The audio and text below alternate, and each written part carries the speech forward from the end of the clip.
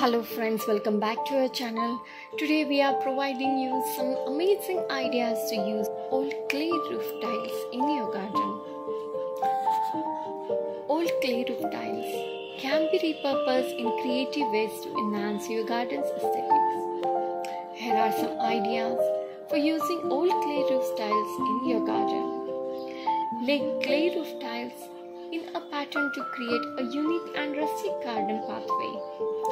Arrange them in a straight line or in a herringbone or mosaic pattern. Fill the gaps with the sand and gravels for the finished look. Aging a border. Use old clay roof tiles as aging or borders around the garden beds, pathways, or other areas. Dig a shallow trench along the side borders and, and partially bury the tiles vertically. This creates a defined and visual appealing edge for your garden. Vertical garden accent.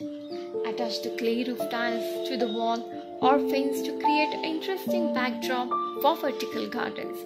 Use hooks or brackets to secure the tiles and then mount hanging planter or trellis to display climbing plants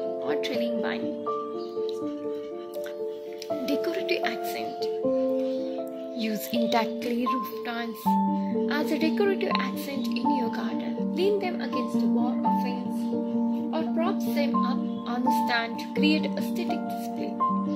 You can also paint design or patterns on the tiles for personalized touch. Drainage solution if you have areas in your garden prone to excess water or poor drainage, use the clay roof tiles to create a drainage solution. Place them strategically redirect the water flow or create small channels to prevent waterlogging. Remember to clean the old clay roof tiles before using them in your garden. Remove any debris, moss, or dirt to ensure they are free from the potential contaminants.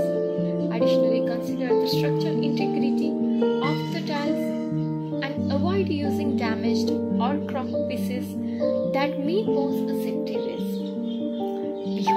This information is helpful for you. If you like our video, please give us thumbs up and share this video with your family and friends. Thank you.